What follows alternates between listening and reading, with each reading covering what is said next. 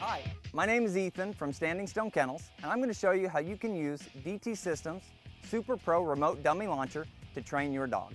It's important to consult your DT owner's manual, make sure your dog has a proper gunfire introduction, and always wear hearing protection. Now, to set up your new unit, you're going to be able to sync the transmitter to the receiver by holding the power button down. You'll have to hold the power button down for seven seconds. Once it starts flashing, you're gonna hit the beeper continuous button on your transmitter. You'll hear the beep from the unit to know that it is synced. Some of the cool features of the RDL is the unit has a 1200 yard range and the transmitter can be programmed to up to 16 units. That includes any mix of both dummy launchers and bird launchers. The unit has a rugged design out of aluminum and stainless construction. The beep feature is audible up to 450 yards, and it has a 0 to 75 degree launch angle.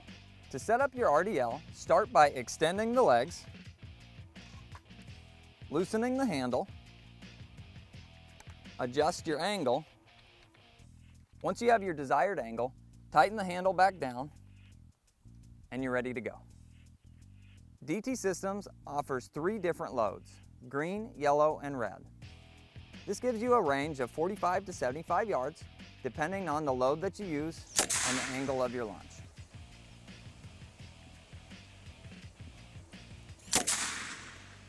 To load your RDL, start by sliding on the dummy, lifting up the latch, inserting a blank, and then close it back down. Finally, slide your safety ratchet into the full back position. To reload your launcher, start by lifting up the latch and pushing it back to easily eject the spent load. Next, press the button on your receiver and your launcher is ready to go for the next round. Because the RDL's beep feature is audible up to 450 yards, it not only allows you to find the launchers in the field easily, but also to draw a young dog's attention to where their next mark is coming from.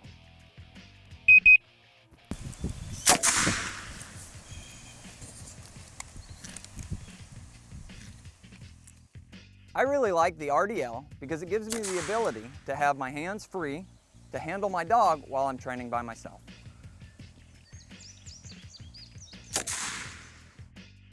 For more information on DT Systems Super Pro Remote Dummy Launcher, check out dtsystems.com, our Facebook page, and our YouTube channel.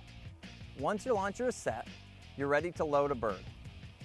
Open up the trap door and load the bird in the basket. Close the trap door behind it, and then make sure and pull the safety pin so your launcher is ready to release the bird.